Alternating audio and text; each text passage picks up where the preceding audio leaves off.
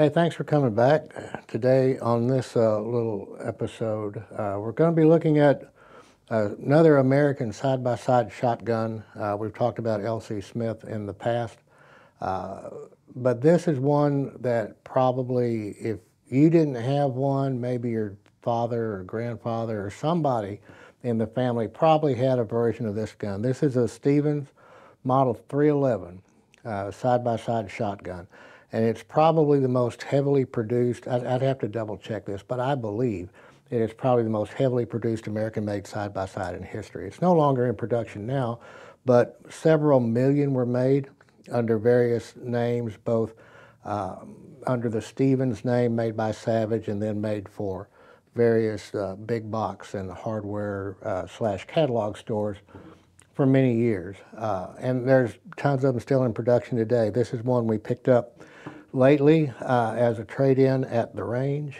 and it's just a solid, very usable shotgun. There's bunches of them in use today. So let's take a look at, at kind of where they came from, and it gives us the opportunity to discuss how Stevens and Savage uh, all interrelated and came to be. They started out very much as separate companies, and Stevens is actually the older of the two, Stevens actually started in Chicopee Falls, Massachusetts back in the mid 1860s, around 1864. And um, they, the Stevens Arms Company, uh, is uh, Stephen J. Stevens Arms and Tool. You can kind of date those by how by how the older Stephen guns are marked. Um, but they originated the 22 rimfire 22 long rifle round. So they're kind of credited for the invention of, of that round. And they were making uh, rifles, uh, single shot rifles and single shot pistols, chambering that 22 long rifle round. So uh, they were a pretty significant producer of shotguns and uh, rimfire rifles uh, up until uh, right at 1920. In 1920, they were purchased by Savage. And Savage Arms uh, had been founded, uh, I've got to refer to my notes because all these dates run into my oatmeal brain, but uh, 1894, Savage Arms in Utica, New York, uh, and then uh, they eventually moved to Westfield, Massachusetts, where they are now. But uh, they were a significant producer of rifles and, and sporting firearms. Uh, from from their introduction. And then um, during the World War One era, they were uh, acquired by or taken over by Westinghouse, and they were producing a lot of war material. But they came out of World War One uh, as a pretty strong entity, and they actually acquired Stevens in um, 1920, and that kind of solidified them as one of the biggest. Uh, sporting arms manufacturers, sporting firearm manufacturers in the United States, certainly. And they stayed strong enough through the 20s that they actually purchased, uh, made two other great acquisitions in 1929. They acquired the Crescent Davis Firearms Company, which was a significant manufacturer of side-by-side shotguns. And they also acquired uh, A.H. Fox, uh, which was a producer of side-by-side shotguns on a par with L.C. Smith and Parker. So uh, they really solidified their position in, uh, in throughout the 20s with uh, the acquisition of some major uh, U.S. brands and, and really put them among the top tier of sporting arms producers in the United States at that time. So um, during that time, uh, Stevens was producing side-by-side -side shotguns. They were all box lock shotguns like this. There, there, were, there were no side locks but uh, of, of, various styles, various internal styles. Some of the technology uh, was brought over from Crescent Davis, and then some was uh, adapted from some of the earlier Stevens designs. But what became the Stevens 311 or the Savage 311 uh, really originated about 1920 with that Savage Stevens uh, merger or buyout. So uh, when they did that, when Savage acquired Stevens, it gave them gave them the the ability to have a little bit of brand separation, if you will. So they used the Stevens name on the more utilitarian uh, hardware store, uh, catalog type guns, and they retained that Savage name, and then uh, as we'll talk about in a minute, the Fox name even uh, for the the higher end or the the I don't want to say higher quality guns because the actions are identical. The actions are the same. The wood changes and the and the embellishment change, but it, it gave them the ability to have some brand separation and price point separation between those guns. So it was a pretty pretty astute move on Savage's part to do that. So. Uh, in 1920 or in the early 20s, we start seeing this basic box lock action uh, and with uh, with a marking of, of 5,000, a model 5,000 on it. You'll see that also using the Springfield brand name. And there, there's some confusion there because we have people, uh, I mean, fairly regularly think they have a Springfield Armory 12 gauge shotgun, and, and they don't. It's not Springfield Armory. Uh, Springfield Armory, the one we know today, is relatively recent, it has nothing to do with the Springfield Armory, the U.S. Armory from um, the 1800s. So, but that's that's a whole other story. The um, Springfield was a brand name, and you'll see that on these guns also. Uh, that was used on hardware store and, and, chain store type gun contracts. But uh, you'll see a Mark 5000 and you'll see a Mark 5100. I think the 5100s are around 1931. And then around 1940, that all coalesced into the Stevens 311. And then as there were further changes or further design changes or features change, then we have series. Uh, you'll see the 311 Series A, Series B, Series C, and so forth. And in fact, I think this one, yeah, 311 Series H. So this is this is definitely a later gun. Uh, and these can be somewhat hard to date, um, depending on depending on the era and when they were made. So if it has a serial number, it's post 1968. Uh, the Gun Control Act of 68 required these guns to be serialized. Prior to that uh, law going into effect, shotguns and rimfire rifles that were made domestically in the United States were not required to be serialized. And some manufacturers didn't. I mean, a lot of manufacturers did not. Remington, uh, a lot of Remington 22s not serialized, Winchester 22s not serialized. And these Savage Stevens 311s before 1968, not serialized. But what they did have uh, from 1949 until 1968, there was a code, and this is a post 68 gun, so it doesn't have the date code that I'm about to talk about. But where you would find that date code, there would be a small oval about a quarter of an inch in diameter, typically right here on the bottom of the frame, about level with the, with the hinge pin, there would be a small oval with a number and a letter, sometimes a, a two-digit number and a letter, and in very, very small, very, very small stamp. Uh, I have to look at it under magnification to even see it, to be honest with you. But uh, the letters what count. Uh, 1949 corresponded to A, and that chart's available on the internet. You can find it in various sources. If you just Google Savage Stevens date codes, there'll be a chart that comes up with those letters cor corresponding to the years between 48 and uh, between 49 and 68. So uh, that's one good way to date the guns in that uh, during that time frame. Otherwise, you have to look at how the receiver is marked uh, on the guns that aren't serialized. So and even the guns that are serialized, I mean, you may be able to call Savage, but uh, the older Stevens, uh, Savage, the records just don't exist anymore. You know, I've heard there was a sprinkler, fire sprinkler incident, or, or whatever the issue is. Um, Savage doesn't really have any information on these older Stevens Mark 311s, uh, date-wise, any longer. So um, you have to go with sometimes the the, the location stamped on the receiver, it's a Utica Mart receiver, it's Chicopee Falls, it's at Westfield, Massachusetts, and then look at when the company changed uh, those locations and give you a roundabout date of when that uh, when that gun was manufactured. So let's talk about the features of the particular gun and then some of the things you might see on them when you're um, when you encounter one that's being offered for sale at a gun show or, or wherever.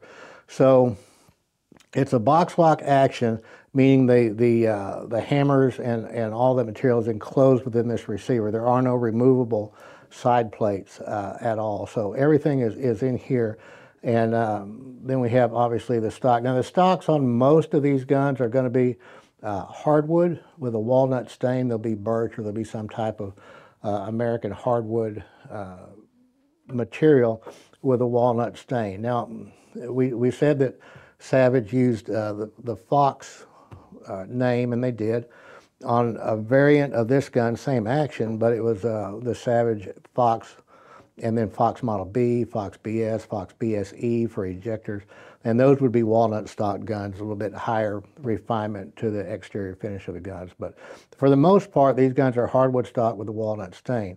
Now, uh, the earlier guns, this was not straight. The receiver has an indent. There's an indent on the side here, so they come in. Uh, it's like a Type 1 and a Type 2 stock, if you will. So uh, if you're looking for wood for the for these stocks, it's, it's being remade. Uh, there are a lot of people cutting stocks, uh, a lot of stock manufacturers that cut stocks for the 311s. And you'll just need to recognize that there are two styles of stock basically, the ones with the cutout here on the receiver and the ones that are straight. There are different frame sizes, the 12 gauge, 20 gauge, and then the 410 size frame. Well, the 410 and the 20 gauge frame, I believe, are similar. So the 12 gauge frame is different. The gun was produced in 12, 16, 20 gauges and 410. I've never seen one or known of one in 28 gauge. Uh, doesn't mean it doesn't exist. I just don't know about it. And uh, for a fact, they were never produced in 10 gauge. Um, there's not one in three and a half inch chamber in 12 gauge. They're all three inch. Uh, well, once the three inch guns were introduced, the earlier Stevens guns might be shorter chambered than that. From uh, about 1940 uh, till about 1950 so into 1951, uh, there was a different stock material used on some cases on not just the 311 but other models of the Savage Stevens line, like the Model 94 uh, single shot shotgun or the 124 manually operated repeater shotgun. It was a material called Tenite, T-E-N-I-T-E, uh, which was, for lack of a better term, a type of plastic. So you'll see that, and it had a strange looking uh, mottled finish uh, and some impressed checkering in it. But the Tenite stocks uh, were, were made during that time, 1940 through about 1950, 1951. And occasionally we'll get the Savage guns in with Tenite stocks, and there's been some failure of the Tenite stocks, uh, and they want to replace it with wood. And it, that's not necessarily just a simple find the stock and replace it. The, the draw bolt for the butt stock is different. There, there may be some other changes that have to be made. We can do it, or, or any decent gunsmith can do it, uh, but it's, it's not just a plug and play type thing in most cases. So they weren't factory equipped with pads. Uh, at least I've not seen one factory equipped with pads. They typically had a just a plastic uh, butt plate on there. There's a simple draw bolt that comes through here to attach the, I believe it's quarter 20 thread uh, that attaches the buttstock to the back of the receiver. Double triggers are typical on these guns uh, under the Savage Fox name. Uh, they did introduce a single trigger version of this gun. I've not seen a 311 with a single trigger. They're all the double trigger. Uh, and you could get just about any uh, choke combination you wanted as long as it was either full and full or full and modified. Uh, the 12 gauge guns and 30 inch are almost always full and full, although they can be full modified. The 28 inch guns like this and, and uh, 12 and 20, this is a 20 gauge, are, I've not seen one other than full and modified. Um, that said, uh, you know, back back in the day, we we could actually modify these chokes or open them up, and we could open them up to improve cylinder fairly easily if you know if someone wanted to do that. Uh, choke tubes can be installed in these guns, uh, but bear in mind you're going to pay twice the price of a single barrel, right? Uh, so that can be done as well. So I mean, they're still very usable guns. I've not seen one marked with a choke designation. Most of the time, you have to measure the the muzzles to find out what the choke designation is. So super utilitarian guns, let's pop it apart real quick uh, and kind of take a look at some of the other stuff that goes on with these. So simple lever here opens up extractors, not ejectors. Uh, on the 311s, again, the Fox um, series or Fox Model B, if it ends with an E, uh, that would stand for ejectors. The Series E, the 311E, does not stand for ejectors on the 311. So there's no latch. This screw does not do anything to take the gun apart. It's just a simple grab it here and pull it up. If you notice, you have a little uh, recess here so you can get a hold of it and pull it up. It's, it's tensioned onto the barrel set uh, with this heavy spring here. So then it's just a matter of opening the gun up and pull it apart. So we can look at some of the markings on the gun, and, and this confuses a lot of people when we talked about when we talked about that date code, the little oval here, uh, and then they see numbers, and sometimes the numbers are in a circle here on the, the barrel flats or on the water table of the receiver, and that's not the date code.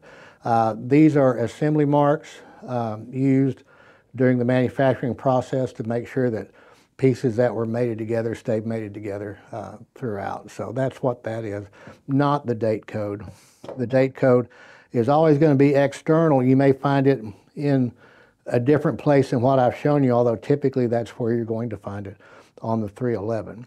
So uh, keep that in mind and don't get confused by these numbers here. They're relatively meaningless as to when the firearm was made. So this particular gun is a, a post 68 gun, like we said, because we have a serial number here on the side.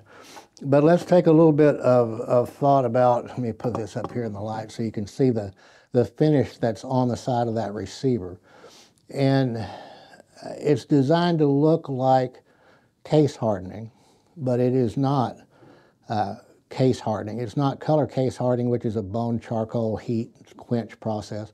This process was actually done with uh, cyanide. So it's a, it's a cyanide-based staining, for lack of a better term, uh, on, that, on that metal there of the receiver. So uh, that process is not, to my knowledge, not being replicated today um, because of the dangers of producing that finish.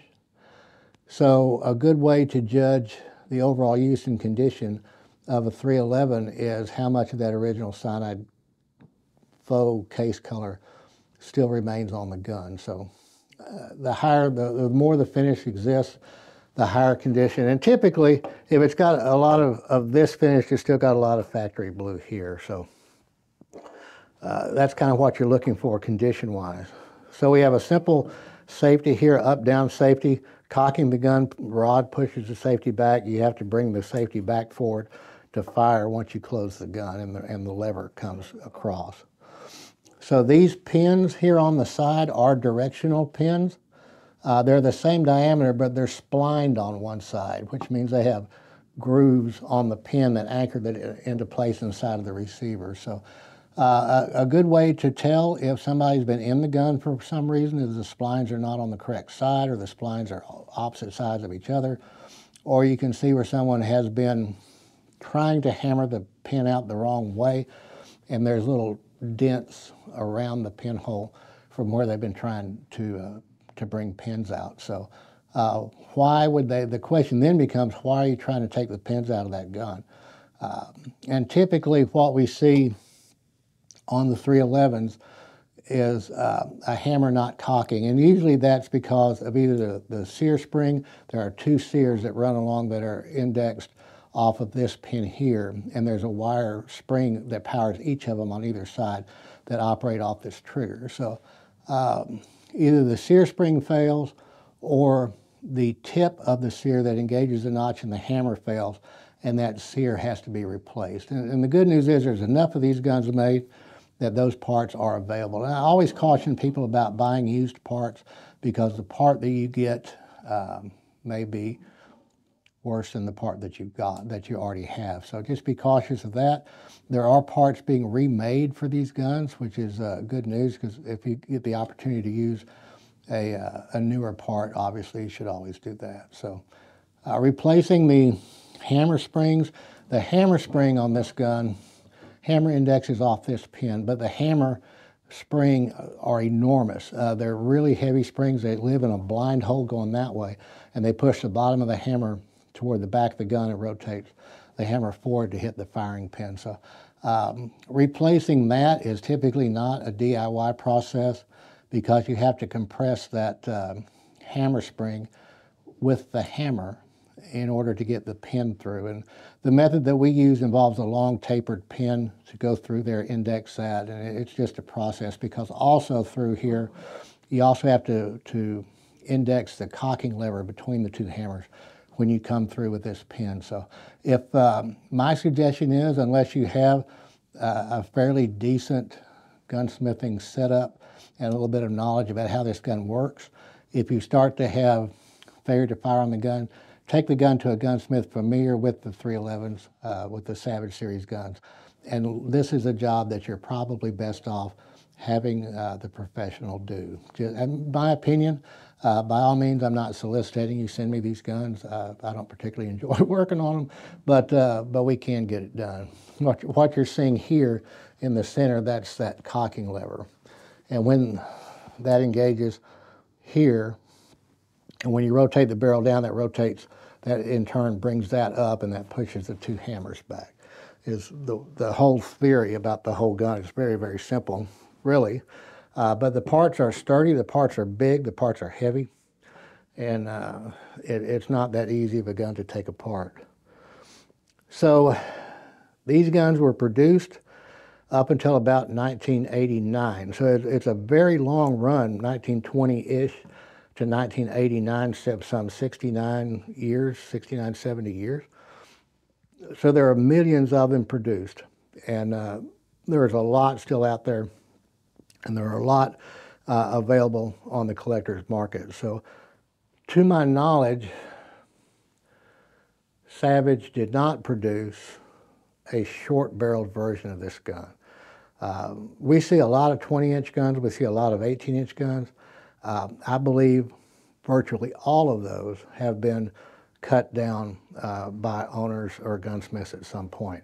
And we've done quite a few. We've, we've actually made quite a few 18 and a half inch guns. And uh, the way we do that is obviously measuring from here. We'll cut it, uh, and yes, you can do it with a hacksaw. It'd be greater, better if you do it with a, a bandsaw to give you a straighter cut. Then we face each barrel individually and, but that's going to leave this rib, although the ribs are hard soldered, uh, both the, the bottom rib and the top rib are hard soldered between the barrels and the barrels themselves are soldered together. But once you cut that, you can see that plug between the two barrels at the muzzle. So it, the rib is hollow between the barrels. That's a plug in the end of the muzzle. So once you cut that down, there's a gap there. So um, this is lead, uh, typically that is uh, inset here from the factory. We'll use Acraglas dyed black or something along that line to plug that to plug that flush again wherever we cut it at, and then reset uh, reset this bead, which is a pretty simple process. So, all in all, that's a fairly simple process to shorten one. Um, and the good news is these guns are not terribly expensive. They're not heavily collected. Uh, the, the Fox version of this gun, um, not to be confused with Ansley Fox or even the Fox Sterlingworth. Savage did make the, the Sterlingworth, Fox, true Fox Sterlingworth for a number of years after they acquired the Fox name. But then it became the Fox Model B, BSE, uh, in the 60s and 70s at that point. So um, they can get a little bit expensive. So what would you be looking to pay for a typical Stevens 311? And it's a utilitarian gun, but it's still a sought after gun. So in 12 gauge, which the majority of them are, in decent shape, you're probably going to pay in that 400-ish dollar range, you know, 350 $400 range um, for a, a good, serviceable, decent condition, nice amount of color left here, uh, no big gouges, that type of stuff. Uh, as the bore diameter gets smaller, the price goes up a little bit. The 2016 20 gauge guns run about the same money. You can add about $100 for that. Uh, and the 410 bore guns um, typically bring in that five to six hundred dollar range. We see people asking more for them uh, quite often. I don't know if they get them or not, uh, if they get that money or not, but more power to them, I guess, if they do. So when you go to evaluate one, we've already talked about some of the conditions, but what can go wrong with them? Uh, we talked about the sear tips already. Pay attention to the trigger guard. It's a stamped steel piece. Uh, it can get bent, and when it, when it gets bent, it can crimp up on these triggers and not allow you to pull a trigger all the way to the rear. Uh, these parts all interchange between all gauges, so these, these are being remade and, uh, and can be sourced fairly easily. The other thing that goes wrong is this uh, attachment piece right here. So as we said, this this uh, screw, the only screw thing this screw does is hold the front of the fore-end iron uh, onto the wood. Then you have another screw here. Re removing those screws will pull that out. So you have this heavy spring here, but there's a small wire spring under that one that gives it that spring tension to come up. And it's actually called the fore-end spring spring. For, I mean, uh, they certainly weren't very imaginative about what to call that, but really what else would you call it, I guess. But So that thing can go bad, and we don't have adequate tension on this spring here. So when that happens, it becomes difficult to get this spring when you're assembling it. You have to get that spring in that notch. So let's let's see if I can let's see if I can do that. To reattach the gun, we come in here, that closes. See that that would be off to the fire position, or you can move it back to the safe position. As we come in here with the fore-end, we want to get this fore-end spring in that notch right there. We want it to get in into that uh, feature there on that lug on the barrel set. And then it's just a matter of having everything in line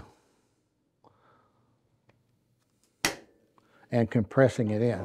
So what we find happens is if it's, if it's not completely in line and somebody goes to just gorilla grip that thing closed, they'll snap something in here the, or the, the wood will crack or something along that nature. So pay attention to that.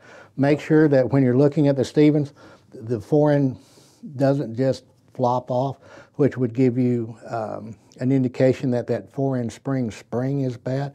This is all repairable. Uh, the parts are, are out there to do, to do that. So good utilitarian shotgun. If you like side-by-sides, and I, enjoy hunting with side-by-sides, this is a great, uh, a great little gun uh, for not just beginners, but people that just enjoy the, the classic hunting vibe, if you will, of, of hunting with a side-by-side shotgun without spending a truckload of money on a LC Smith or a Parker or anything of that nature. These are good utilitarian shotguns. They do kick, uh, in my experience. I remember as a kid, uh, a friend of ours had a 10-aught stock 12 gauge, and it got to where if you didn't flinch before you started shooting that gun, you, you learned how to flinch after shooting it. So um, I look for them. Eh, you know, if I'm if I'm out and about and I just get go into some random pawn shop, I always look for the 311s up there to see if there's one that, that I can get for a, a decent price because they're a good quality gun to have. So the Stevens 311, a little bit of the history, a little bit of what to look for. Uh, if you like the content that we're doing, please uh, hit that subscribe button, drop a comment um, on, uh, on what you're seeing. Uh, if you have a make or model that you want us to take a look at, by all means, uh, drop that in the comments too. We look at all that stuff and we, we try to source it and get it on the video for us. Look at the other videos and appreciate your attention and have a good day.